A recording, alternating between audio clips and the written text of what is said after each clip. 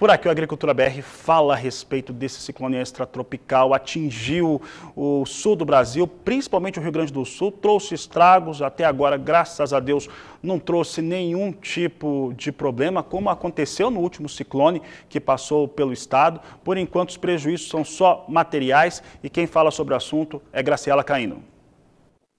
A passagem do ciclone extratropical pelo Rio Grande do Sul trouxe severos prejuízos para os produtores de leite.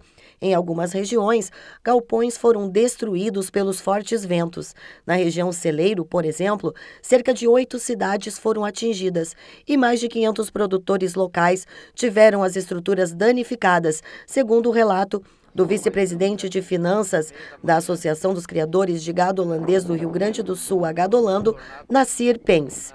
Ele diz ainda que será preciso achar um jeito de distribuir os animais entre os produtores que não foram atingidos. O presidente da Gadolando, Marcos Tang, ressaltou que produtores estão procurando vacas em escombros e que não possuem local para ordenhar e que realmente o cenário é muito triste.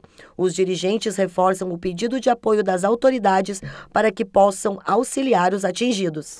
A gente quer chamar atenção para alguém que tenha contatos aí com autoridades estaduais, federais, a coisa está cruel mesmo.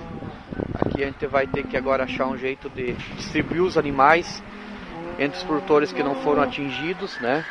É, muitos produtores de outras cidades, outras regiões já estavam ajudando ontem à noite, já estavam tentando salvar animais e é, para ver o que dá para fazer.